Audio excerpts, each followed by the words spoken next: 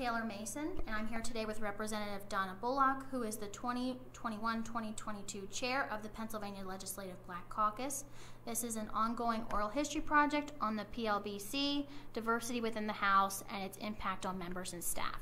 Thank you so much for being here today. Thank you, Taylor. Okay, so why don't you tell me a little bit about yourself and how you got to the Pennsylvania House of Representatives? Sure. So I am a Jersey girl. I grew up in New Jersey, uh, came to Philly to go to law school, fell in love with Philly, fell in love with Philly guy, made it home. Um, and, you know, I um, grew up from in modest means. Uh, my, my, family struggled. My mother, my grandmother, and I, um, we frequented a uh, soup kitchen in New Jersey to get by. And in that experience, my grandmother taught me that while I was here to get a meal, I also had to serve. So I learned to volunteer at a very early age. And that carried on throughout my career, mm-hmm. through education and college, and eventually coming to law school and graduating and saying, how can I give back to my community? So I worked at Community Legal Services. I um, found a way to use my law degree to serve my community, representing mostly nonprofits and churches and schools and after school programs but always wanted to do more in um, government. And so I had a great opportunity to work for Councilman Darrell Clarke in Philadelphia, um, where I worked as his, initially as his community economic development coordinator, and then eventually um, became his special assistant when he became the council president, and worked for him for about four and a half years. Uh, during that time, uh, my predecessor had resigned early, and I um, folks encouraged me to run for that seat. And I'll be honest, at first I didn't want to. Um, you know, I talked about, you, you, know, I tell folks all the time that I definitely was the girl in high school that ran for every mm-hmm. possible class opportunity or leadership. But as I got older and settled down and became a wife and a mother, those became my priorities. And so running for office was not at the top of my list at the time. But um, looking back at that time, I, I said, okay, listen, my community is looking for a leader. Am I in position to lead? Are, is my family okay with that? I looked at those, my boys were now teenagers, but at the time I was like, okay, they can tie their shoe, they can they can get mm-hmm. around. They, they don't they're not wholly dependent on me, and so this was a great opportunity for me to run. That was in 2015. Okay. Um, that I ran. It's a special election in the August of 2015. So what has been your experience being a person of color in the House? Do you think there's been extra um, work involved to get elected, or even when you're here in the House to get legislation notice, to get your voice heard, things like that? Yeah, I think that it's you know what there's a there's part of it that it, there's more you have to do. There's extra, right? There is a level of, of making sure that your voice is heard, that the voices of your constituents are heard but it's also that you just have to move differently, I think, in the house, right? And in this entire complex. And uh, one of the things I noticed right off the back is how few women of color there were. Uh, and it's a number that I talk about all the time, and um, and we'll continue to talk about it. Mm-hmm. But I think it was very important to me was that when I got here, there were nine black women, um, and that number remains constant. Um, and uh, there, that number has not changed, and I think it may have, it may still be the highest number of women to serve, non, uh, of black women to serve at one time.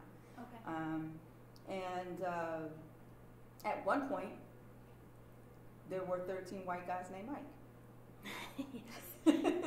so this is a number that I repeat all the time. Mm-hmm. That there was a point in which I served where there were more white guys named Mike, and that just illustrated for me some some of the um, challenges that may not necessarily be spoken, but I think are there. You know, making sure you're seen and you're heard and you're included, mm-hmm. because you're sent here to represent your 60,000 people back home, and so you can't be left out of those meetings because you know it's it's the old guys, you know, white guys, and you know, network over you know, cigars or whiskey, and they're not including you. And those things still happen.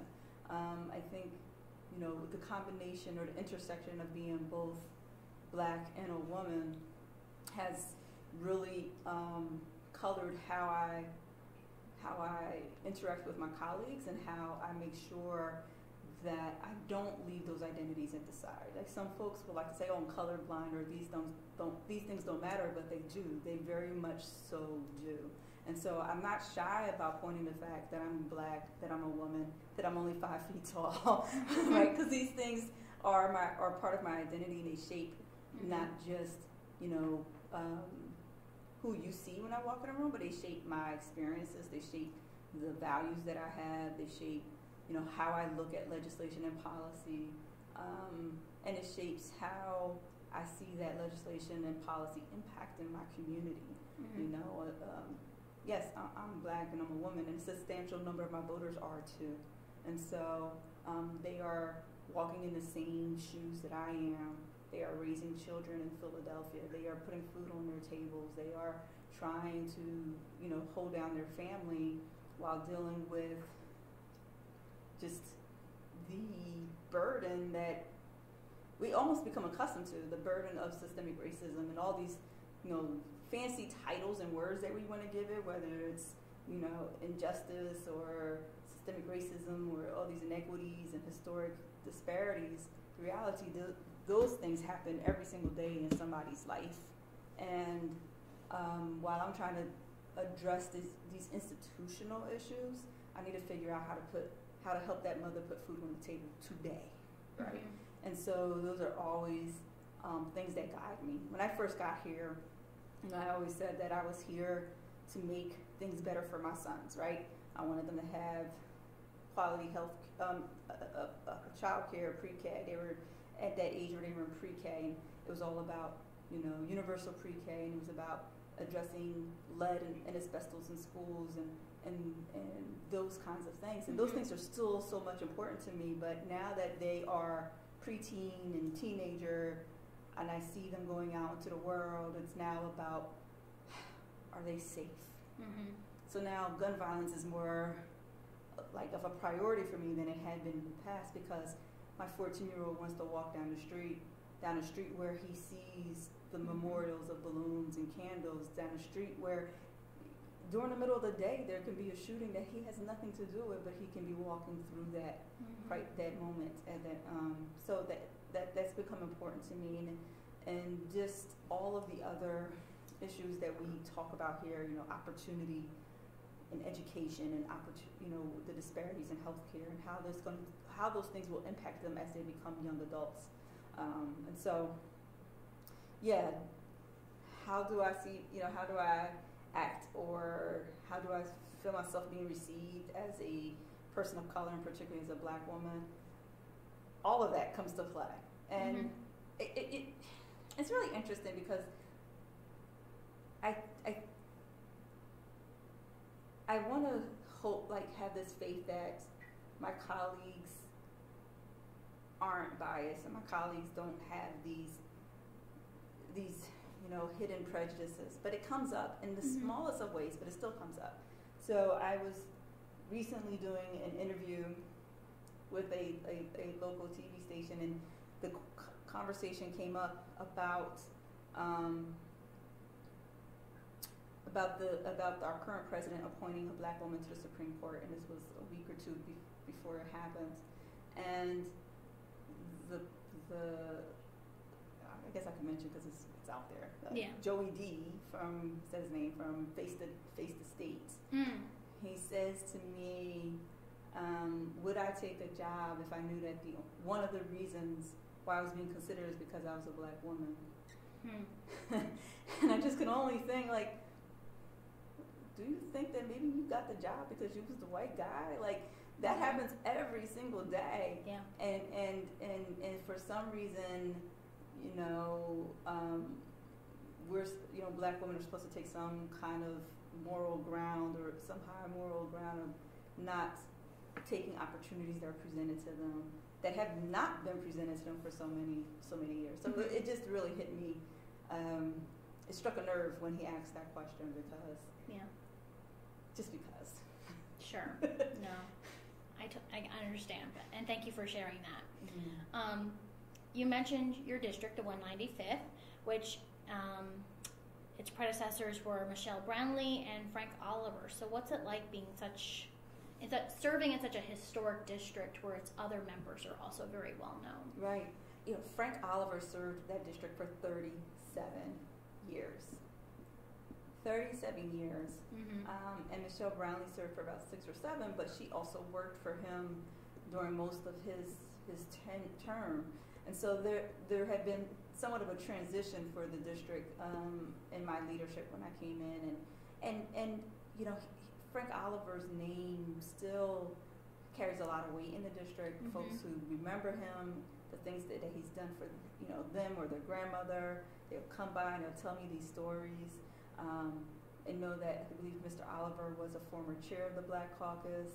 So there's these definitely this history of you know um, the earlier um, members, black members in his house, and he was a part of that early group, right? The Mhm. group in the '70s that started the Black Caucus that were um, fighting for some of the same issues that we're fighting for today, right? But they were very vocal at a time where um, there were things happening not just in the Commonwealth but across our country, and they were a part of that movement. So I, what is really um, humbling is that I see the work that he and others during the 70s have done, how they have somewhat set this foundation for the work that we're doing now in 2020, 21, and 22. You know, in the movement, of, in the Black Lives Matter movement, in the you know, racial justice and equity, social, you know, social justice movement that's happening right now in this country. There's so Mhm. many parallels, and then there's there's so much. There, there are a lot of lessons we can learn from what they did then. But I also think we're in a better position now to to really move the needle on on these issues. Um, so I know that I, I am standing on his shoulders and the shoulders of many others that have come before me. It's an honor to represent um, his district or this district where he has been um, and to continue, you know, um, you know, moving forward, just moving Mhm. forward in that path. So um, it's such a great district. It's diverse in itself, and to have um, a district that is as diverse as it is, be so supportive of a representative that is very focused on racial justice and social equity. Mm-hmm. You know, they're, they're, they're all the way behind me and supportive of that work and understanding that it has to happen. So you mentioned your predecessors. Did they play a mentor role for you? Did they work with you when you got elected to the office? If you could just elaborate on that. So Michelle, Michelle Brownlee was very um, helpful early on in, in my um, career. I actually would say um, right before I even considered being, you know, running for the seat, and she was still the state rep. We had a working relationship with each other because I was Mhm. in the councilman's office. So she would call for, you know, city services that she needed for her constituents at the time. So we were building this relationship. And when I um, decided to run in, um, in her after her resignation, it was it was great to have her support Mm-hmm. because she didn't have to, and I know that she it was a challenging time for her. Mhm. Um, but she she found a way to be supportive without being harmful to, to, to my election, and even with the challenges that she was facing at the time, um, I saw value in the work that she had put in before me, and value in, in her service and knowledge that helped prep me for being here. Mhm. Um, and if you're able to see that value and get beyond, you know, the other things that may be going on, it, it really was helpful. And Mr. Oliver and I, we started off a little different. Um, Mhm. I wasn't the candidate he necessarily wanted to support Okay. at first, and so, um, but he was always honest with me. And then, um, and then when I beat his candidate, he he was such a just just a great guy. He called me and he said, "Girl, you beat me. now let's get to work." And Mhm. from that moment on, he welcomed me into his home. He sat down with me. He talked to me. He shared history with me. Um, and it was, a, you know, I think maybe a year or so that I had with him, just really being a great mentor. Even after like having that election day battle, Mhm. like after election day, it was all like, now how are we going? to How are we going to make you an effective legislator? How are you going to make sure you do what's right for our district? Mhm. how can I be supportive and and, and I appreciate that because um, at, I think for Mr. Oliver at the end of the day it was about the people You know, Mhm. and even though he had a candidate that he would have liked to have seen won, it was like, okay, she won. So how do we support her? How do we? And I never had a problem with him after that. In fact, I would say, like I said, that last year was just uh, very valuable to me to have him. Um, and it was an honor for me to name a street after him Okay. after he passed away. Um, yeah, you know, again, finding value in folks even when you don't agree on every every piece. And there's politics are politics, right? Mm-hmm. You get out there, you, you support your candidate, and but at the end of the day, it's, it's about the people we serve. So you you put all the election day, you know, stuff to the Mhm. side, and uh, you work together. And Mr. Oliver was good about that. Okay. How about people outside the 195th? Were there other members that were iconic in Philly or across the state that really helped you um, when you started in office? Yeah, Um, and we were talking about members. Yes. Okay. So, um, yeah, decided to run, uh, the, one of the first phone calls I got was um, from Cherelle Parker. Okay.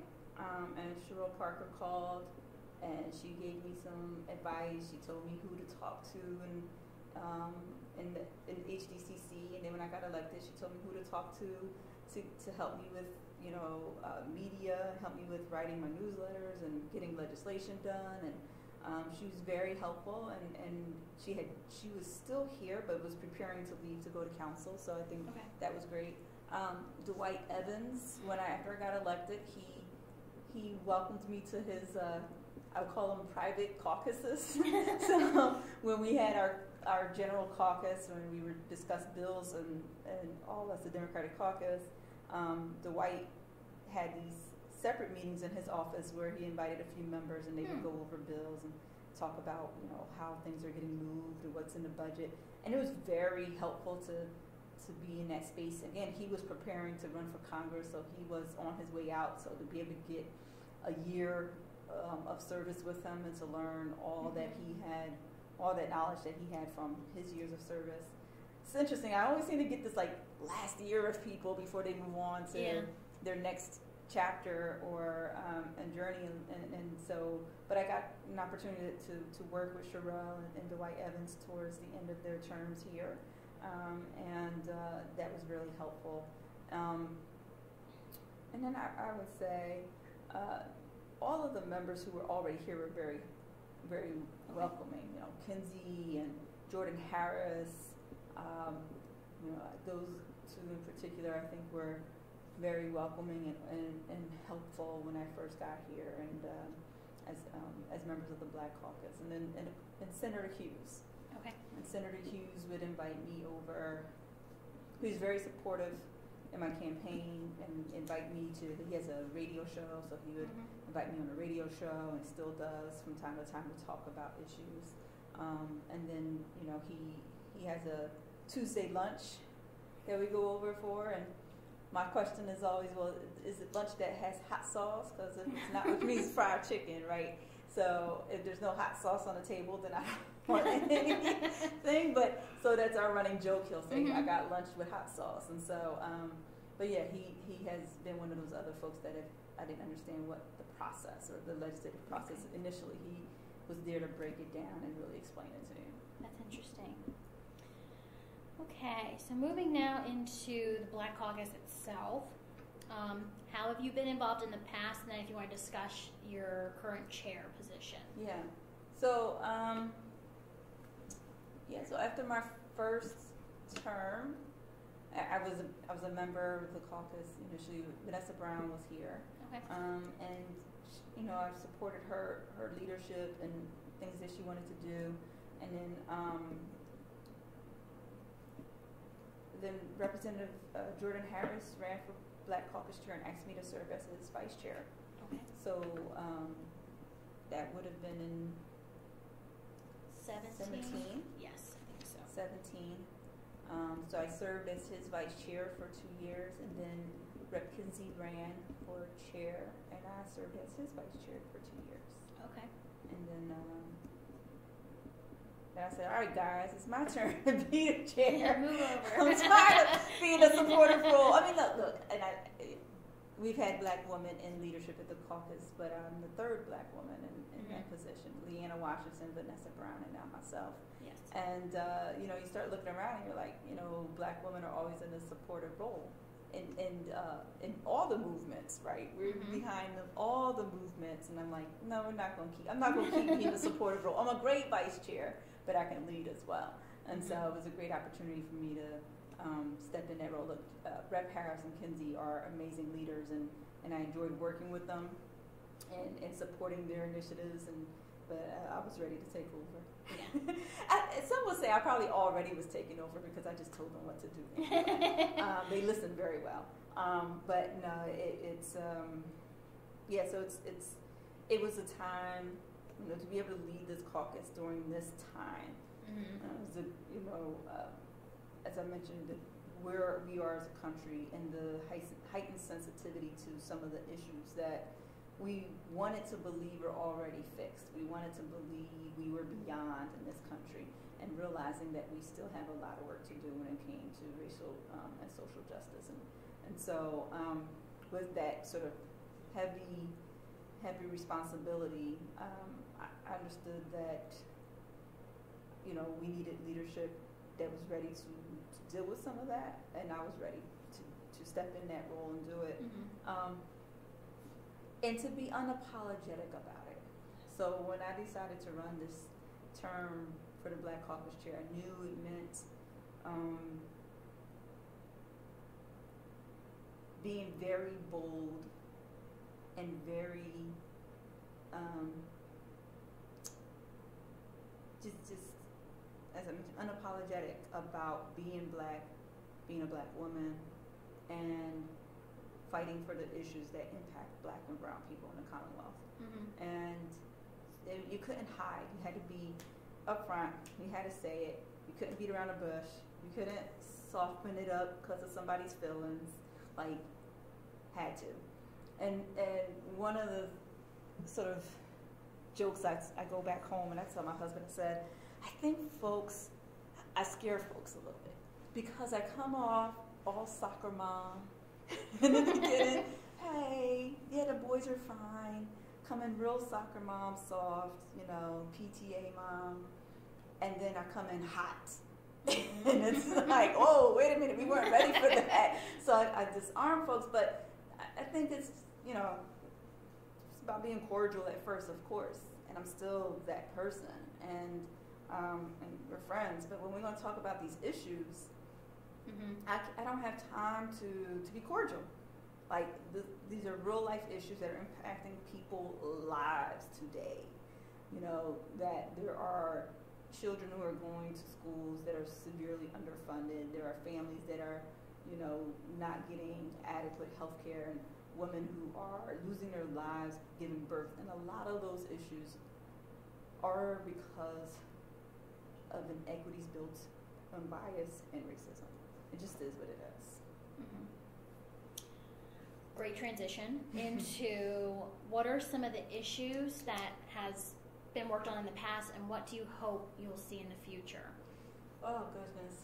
It's very open ended. It so is. You, you, can't probably cover everything. No, I think you know. And here's here's the thing. Unfortunately, a lot of the issues that I believe my predecessors in the 70s were talking about mm-hmm. are still issues today. Yeah. We are still talking about criminal justice reform. We are still talking about police reform. Yeah.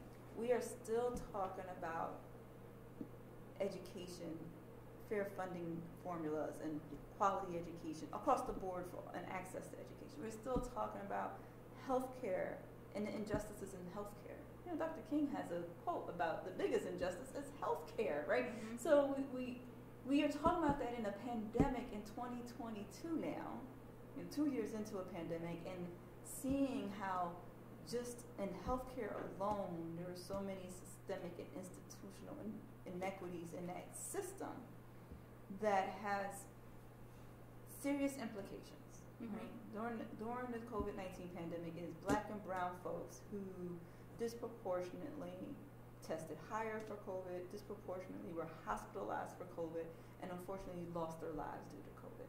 They were uh, more than likely to be the folks on the front lines working the jobs to get your groceries to your home, delivering those groceries through whatever app you're using from the comfort of your home, more likely to be the person taking care of your child at a child care center, more likely, more likely to be taking care of your elderly parents mm-hmm. at the mm-hmm. nursing home or at the hospital. It, it has always been, unfortunately, black and brown communities who disproportionately share the, the burden of our biggest mistakes in this country. And so when we do that, intentional or not, the policies that we work on in this building, that we work on in state capitals across this country, and that we work on in DC have this impact. They have this effect. And so one of the things that I hope to work on is to be more strategic about how we fix it, mm-hmm. right? And because trust me, I think folks are strategic about keeping us locked out of those things, right? And there's some of these things are unintentional. Some of them are very much intentional. So if we are intentional about fixing it, we can't just go around and say nice words like equity and diversity for the next 10 years. We can't. We're not going to get anything done. I don't want to see reports for the next 10 years. And so I, I did introduce a, a bill to require or to establish uh, an agency or office that would conduct equity impact statements for legislation. And this is why. We get these fiscal impact statements on every bill. We know how that bill is going to impact the state budget. Mm-hmm. We know how that bill will impact our state's finances. We don't know, we don't have anything on paper anyway, other than testimony or somebody get on the floor or maybe somebody writes a nice op-ed we don't know how the bills we introduce, the policies we advocate, impact people. How does it impact people of color? How, do you, how does your bill impact women? How does your bill impact low income families in Pennsylvania? How does your impact bill impact rural communities versus cities? We don't know because we don't necessarily do that work for every single bill. Mm-hmm. So unless you have an advocacy group or somebody else that's doing that work or you've done it as a legislator, we're not getting that impartial, you know, um, account of how what we do impact our biggest asset in the Commonwealth. Budget's great, but our biggest asset is our people, mm-hmm. is Pennsylvanians. So um, I hope that we, whether it's that bill or in other ways, I think moving forward, I would just like to see whatever we do, whether it's on health care or prison reform or you know, um, education, that we are doing it through a lens. You know, we can call it a racial equity lens. We can call it, you know, whatever is the term for this this season, but a people lens. Mm-hmm. That we are looking at the people of this Commonwealth, every single corner of the Commonwealth, and saying, how is what I'm doing today? If I press yes, that green button at my desk, who am I helping? and who am I hurting? And I think that's important to know. Okay. Um, mentioning an event that the Black Caucus worked on back in 2020 when the Black Caucus took over the rostrum um, after a lot of gun violence in the country. Could you explain that moment? Were you present? Were you involved in the organization of it? So I, um, this was an event in response to uh, police police abuse and, and, and um, activity, and um, particularly George Floyd's death mm-hmm. um, and the national attention it had in our country. Several, we were still, most of us were still home because we were in the middle of a pandemic. Mm-hmm. And so um, we wanted to respond in some way. We wanted to move legislation that many of us had already been working on after the death of a, a, a young man, boy outside of Pittsburgh, um, whose name's escaping me at the moment. But um, there was a police shooting of a boy in uh, just outside of Pittsburgh in 2018, I want to say, okay. and that had that had at that time had motivated a lot of Black Caucus members to introduce or reintroduce bills that many of us or our predecessors had worked on to address police accountability, police trans, um, uh, transparency and, and to address, you know, some of the abuses that we have seen in law enforcement. So those bills have been sitting since 2018, 19, 20, and now here we are in 2020, and we're still not seeing our bills get moved. We're in a minority as a party, so we just weren't seeing those bills get moved. And here we see this national story that just it just punched the whole country in the gut. Like we got to do something here. Um, and so uh, one of our members, Rep Lee, started calling everyone saying we should do something, Rep Summer Lee. And she called me and I was like, yeah, we should definitely do it. I was not able to come up because of COVID. I was okay. home caring for um, children and my mother, and I didn't want to expose myself at mm-hmm. the time. But many of the members did, and I, I supported them from home. I, you know, streamed it on my social media accounts. Um, I, you know, called other members to see who would be able to attend.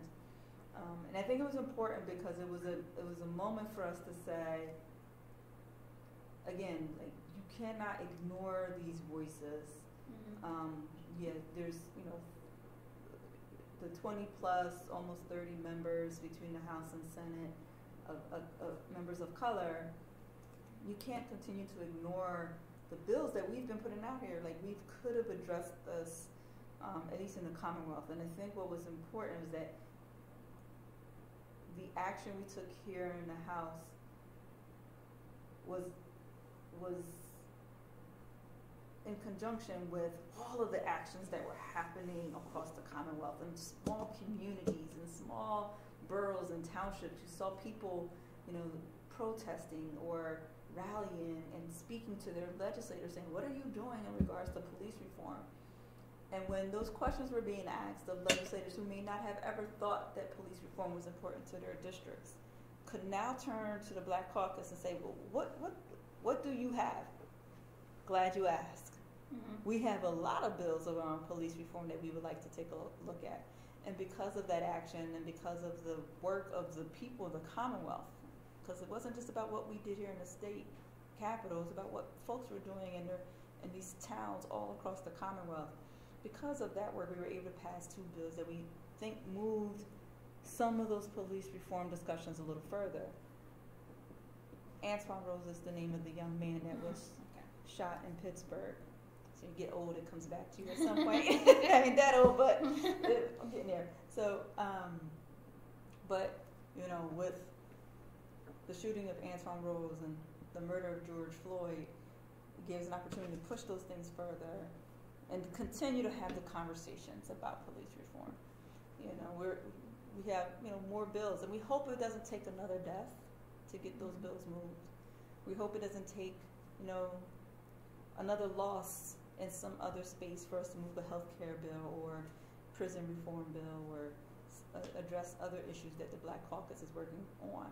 Um, but that unfortunate circumstance in our country's history opened up a window for us to, to push those bills through. And uh, hopefully we can continue to work on such, you know, just as meaningful bills without the, the um,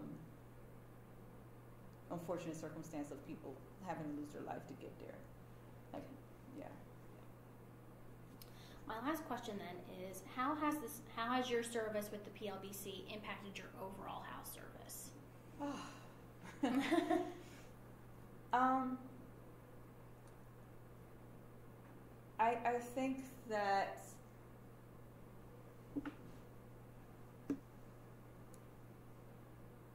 it, it has probably isolated me from some of my colleagues.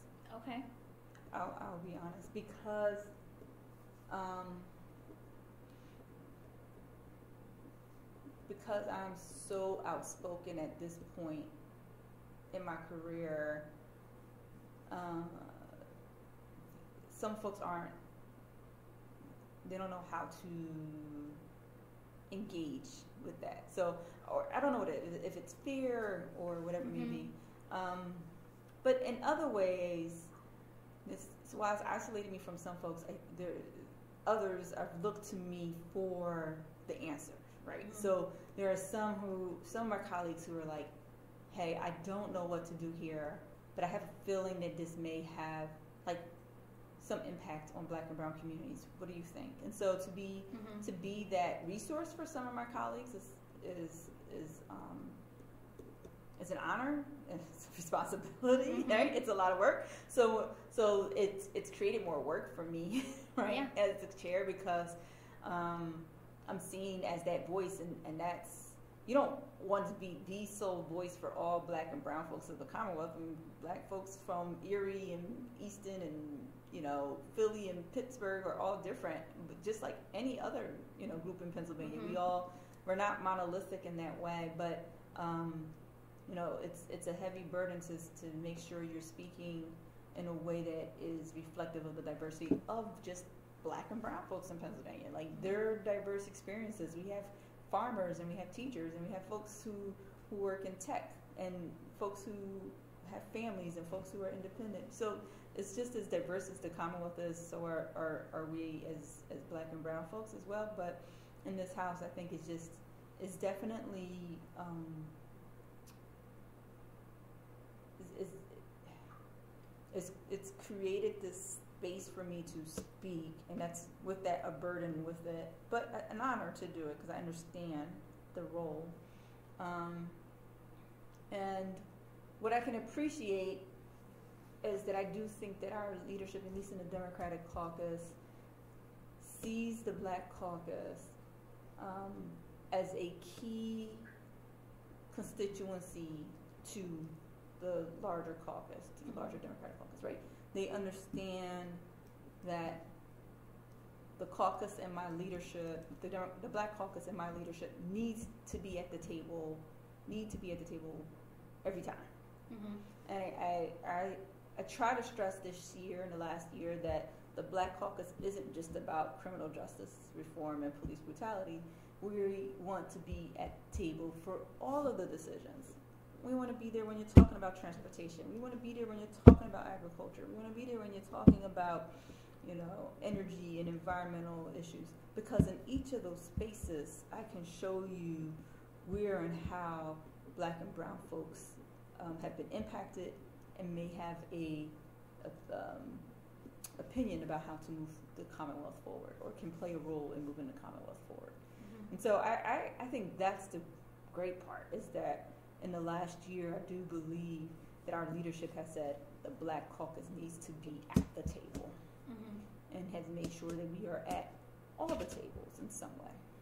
Okay. And even better, we this is the fir- you know first time in our history we've we've got two we've got these great leaders in our caucus that are leading Mhm. the caucus, right? Yeah. Right? We had um, last term anyway. We had three black leaders in the Democratic caucus. You had Rosita Youngblood, Joanna McClinton, and Jordan Harris. It's amazing. And then this year we continue that leadership with Jordan Harris and Joanna McClinton. So um, seeing black leadership not just in the black caucus, but in all of the other spaces of leadership in the Capitol. So we are, yes, leading the Democratic caucus, but we're also leading the Philadelphia delegation. We, Mhm. we are leading the Allegheny delegation with Austin Davis. Uh, we were leading the Southeast delegation with Margo Davidson before she left. And so we were in every space, you know, Women's Health Caucus with Morgan Cephas. So we were in not just regulated to just quote unquote the black issues. Mhm. We were being seen in all of those spaces as leaders. And I think that is that is if anything is a big achievement And the next, you know, that we're not just limited to K. Leroy Irvis's great leadership, but that we are seeing leaders throughout um, rank and file and all the way, you know, through the entire spectrum of, of um, leadership in this building. Okay. Those are my questions. Do you have unless there's anything else no, you'd I like can to keep ask? talking. You don't want to.